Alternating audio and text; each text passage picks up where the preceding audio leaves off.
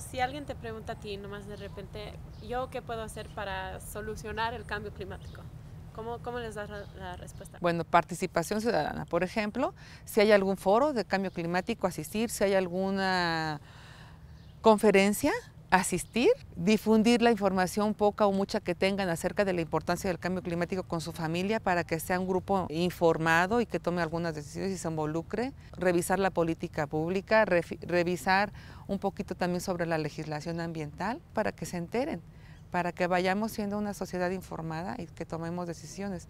Es lo que les diría así de entrada, involúcrense y pues a los jóvenes que están en las universidades, pues a ellos sí les pediría un poquito más por el lugar donde están desarrollando sus actividades, que les pregunten a sus maestros cómo los pueden ayudar en algún proyecto que tengan del cambio climático, que les pregunten cómo pueden desarrollar actividades o cómo pueden acercarse con otro grupo social para irles a llevar esta información y que poco a poco se vaya dando un grupo más informado. Si no tenemos la información necesaria, tomaremos malas decisiones.